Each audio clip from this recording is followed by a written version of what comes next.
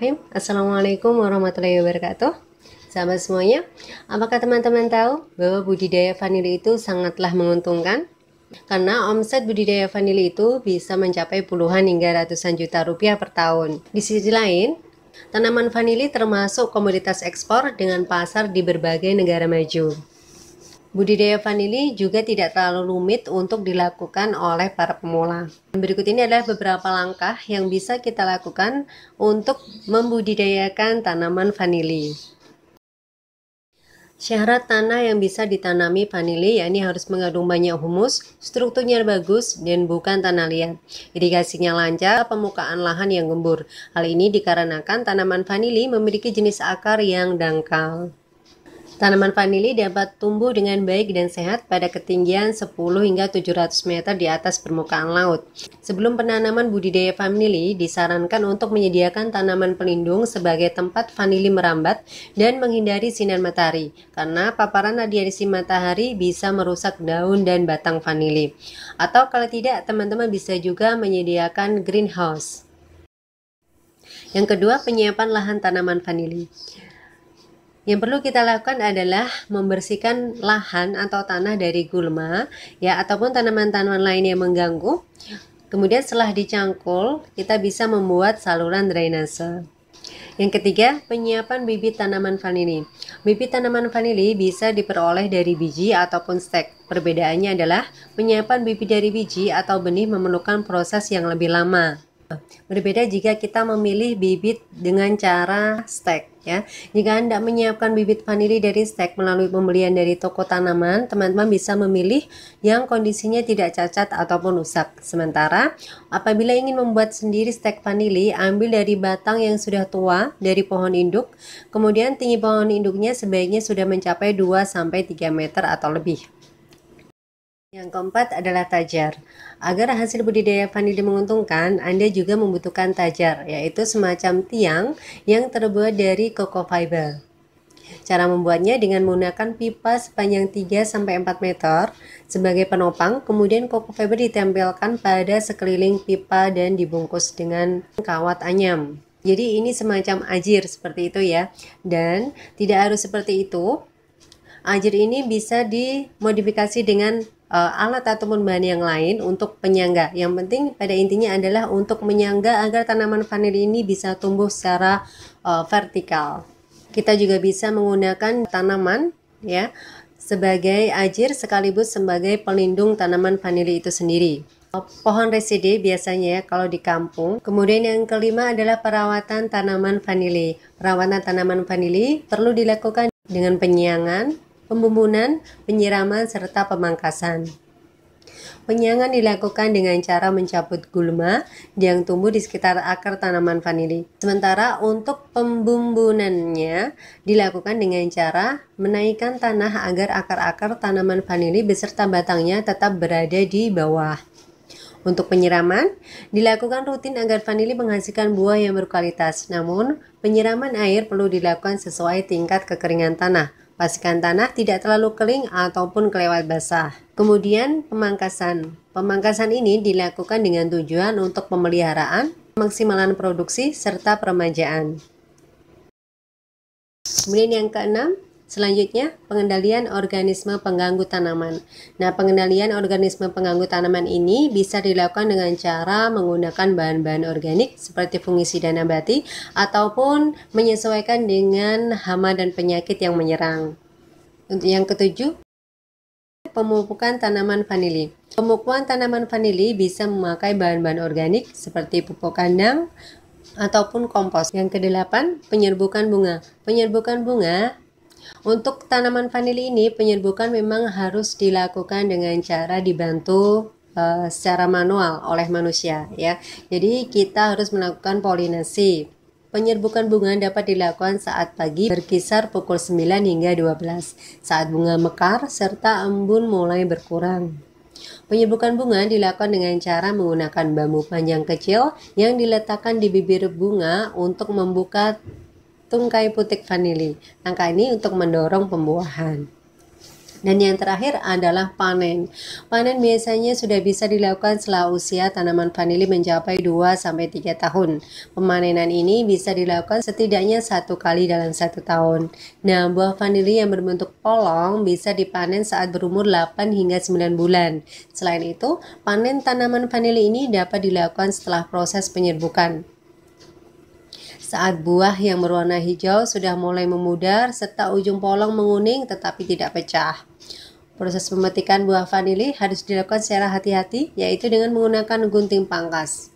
Polong vanili yang dapat dipetik yakni terlihat dari polong vanili yang nampak lebih kering mengkilat, lentur, berdaging, ada warna coklat kehitaman, serta mengeluarkan aroma yang khas. Nah, itu tadi secara global bagaimana cara budidaya vanili ya teman-teman. Saya akan mengajak teman-teman berkunjung ke pemilik tanaman vanili ya. Di sini saya akan berkunjung ke rumah Pak Darto di Desa Tampingan. Beliau adalah pemilik uh, kebun vanili. Jadi di pekarangan rumah saja. Namun alhamdulillah sudah mulai uh, berbuah ya. Tapi sayang tadi pagi saya uh, kurang pagi ke sininya, jadi saya tidak mengikuti bagaimana cara polinasi tanaman vanili ini. Tapi uh, kami tadi sempat mengobrol-ngobrol sedikit bagaimana cara merawat tanaman vanili ini. Kita langsung saja mendengarkan uh, langsung dari pemiliknya bagaimana cara merawatnya. Nah, Scott kawan dah dua tahun yang lalu lebih. Yeah. Nah, itu karena teman saya minta pupuk saya kasih, saya tanya buat apa, ternyata buat untuk nanam vanili. Nah kemudian saya kayak ada ada maksud untuk apa uh, dan istilahnya untuk mengenai hal menanam nah kemudian saya cepat-cepat untuk menanam kasih pupuk hmm. ini faktor kasih, kasih toples itu kan untuk mencegah waktu musim kemarau biar lembab hmm. tanah tidak kering hmm. karena akarnya seperti akar benalu untuk tidak untuk masuk tanah itu sulit jadi untuk merambat terus kemudian akar-akar tersebut nanti menjalar ke sela-sela pori-pori tepes teman penting cuman alah alangkah bagusnya untuk tepes itu kan untuk merongga-rongga pori-pori. Oh. kalau seandainya untuk kasih pupuk itu nanti bisa dikasih lubang-lubang disiram nanti masuk. Uh, alami organik. Tapi kalau bisa kambing. Sapi kurang bagus. Itu pertumbuhan awal itu kasih media misalnya seperti perangsang obat daun dan untuk pembusukan tahan pembusukan itu bisa. Hmm. macam-macam jenisnya. Paling busuk batang ini pengeringan busuk batang itu tetap keluar gimana ini. Nah, seperti ini. Nah ini ini itu pasti kasih. Ya, oh ini. busuk batang. Hmm. ini busuk batang. Nah seperti ini mengantisipasi ini nak potong ya 5 cm 6 cm itu enggak enggak apa-apa. Oh. Nah, ini kalau seandainya untuk mencegah itu langkah bagusnya seperti apa? Akan ada akar macam-macam itu akar angin tuh pak. Yeah. akar angin akar angin kalau seandainya dipotong tunas untuk masih muda itu resikonya ke apa? Nanti busuk batang. Oh. hmm, busuk batang tapi kalau seandainya seperti hampir tua seperti ini dipotong tapi nggak usah nggak usah mepet-mepet agak dironggai satu lima senti itu nggak masalah nggak apa-apa. Hmm. sekitar maksimal 40 sampai 50 persen. Kalau terlalu panas tidak kota layu. Lalu kemarin kemarunnya ekstrim nah kendala. Cuman kalau kita bisa mengatur itu nggak masalah. Yang penting tidak kering tetap di musim hujan kembali semula seperti lain-lain kalau seandainya untuk stressing itu biasanya kan satu tahun itu pembungaan estafet. Apa? Karena estafet. Nah, ada, pembungaan ada lagi uh, untuk mulai tua masih muda. Jadi satu tahun itu bisa panen dua sampai tiga kali. Karena tidak bersamaan keluarnya. Kadang sekarang muncul bunga yang sana sudah hampir tua jadi terus menerus seperti itu. Hmm. Hmm, bahkan kalau seandainya kita sudah pandai-pandai untuk stressing kita sudah lumayan tahu tahu apa sistem kinerja bukan hanya satu kali panen kalau informasi sementara kalau basah itu 150 sampai 200 per kilo itu basah hmm. kalau kering terakhir kalau hmm. kering itu mencapai dua setengah sampai tiga juta hmm. untuk kesabaran okay. yang penting telaten okay. itu nanti bisa menghasilkan stok yang terbaik hmm. okay. Baik, kita di teman-teman sekilas tentang bagaimana cara budidaya vanili di lahan sempit. Pekarangan Bapak Darto ini 6 kali 12 meter ya.